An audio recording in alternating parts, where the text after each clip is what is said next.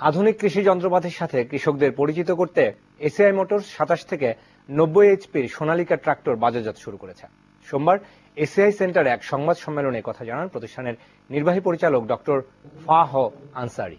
ভারতীয় tractor brand Sonalika ট্রাক্টরের বাজারজাতকরণ উপলক্ষে এই সংবাদ সম্মেলনের আয়োজন করা হয়। ডক্টর আনসারি বলেন, বাংলাদেশের কৃষি জমির সাথে সামঞ্জস্যপূর্ণ পাওয়ার ড্রাইভ সম্পন্ন সোনালিকা ডিআই পঞ্চাশ আর এক্স ট্রাক্টর জমির উৎপাদন বৃদ্ধির পাশাপাশি খরচ কমাতে সাহায্য করবে।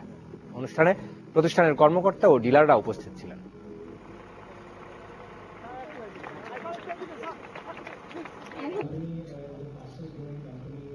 সপ্তাহের দ্বিতীয় কার্য দিবসে সূচক ও লেনদেনের ঊর্ধ্বমুখী প্রবণতায় শেষ হয় দুই স্টক এক্সচেঞ্জের কার্যক্রম।